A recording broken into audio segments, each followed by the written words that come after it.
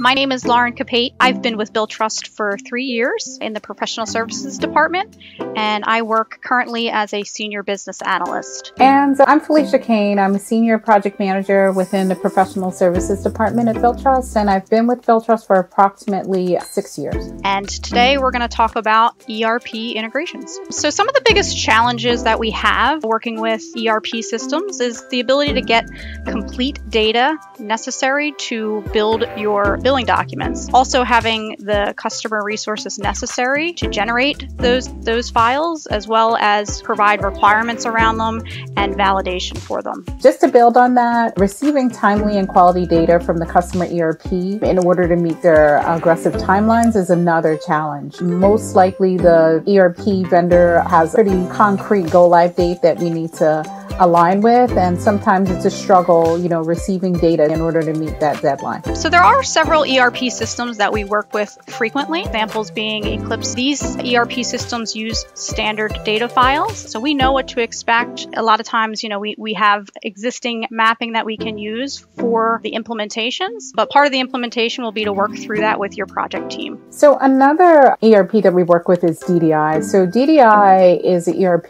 for a large set of, of one of our supply supply company implementations. So uh, with DDI, we have like one main resource that we work directly with. And what that does when you have like one main contact, it prevents us from recreating the wheel, right? So we're also able to create documentation to reference across multiple companies. Working with DDI is usually a breeze. They can address any challenges that we faced on the last implementation to prevent it from happening again on current implementations. So during your Billtrust implementation, we're going to need data mapping or file requirements. So we need to know what type of data we're going to get. We need samples of your PDFs to cover all of your different billing scenarios. And if you're doing payments, we'll also need some payment file requirements in terms of what we're going to deliver back to your ERP system. Some of the challenges customers have when they're going through an ERP migration or an ERP upgrade is really just around the change that that migration or upgrade So a lot of times the data that we've received previously is going to be different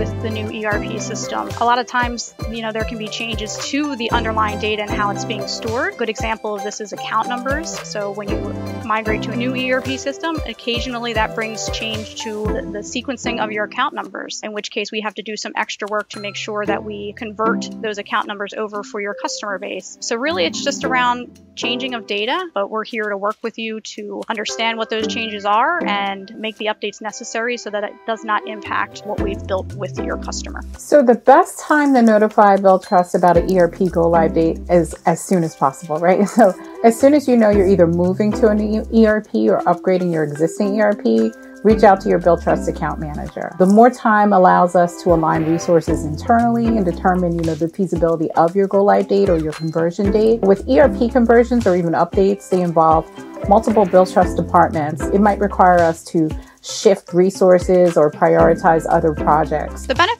to working with professional services is that we have the knowledge and experience to help you through your implementation. We're going to walk you through what's necessary from start to finish. We're going to analyze your data, we're going to look at your billing documents, and we're going to help gather requirements around the solution that we need to build specific to your business needs. We're going to take our experience and our knowledge from working with similar customers in the past and apply that as much as possible to your implementation to make it as successful as it can be. The professional services project team will also assist with communicating timeline and managing your deliverables to ensure projects are completed on budget as well as on time. The best way to engage uh, professional services is through your sales representative or account manager.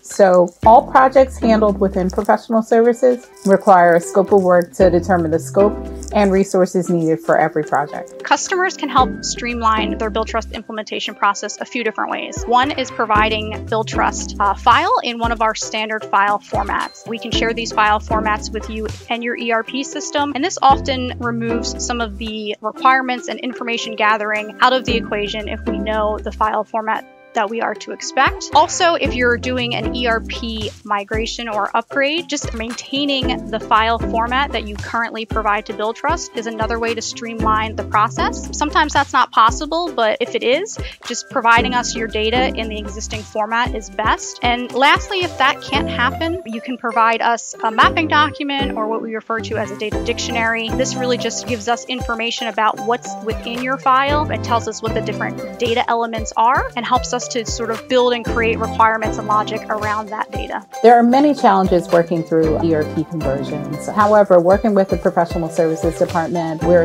extremely experienced with handling ERP conversions, whether you're it's a new conversion or updating. We're excited to work with you on your next upcoming ERP conversion. We hope this information was helpful. We look forward to working with you. You'll be in good hands with professional services.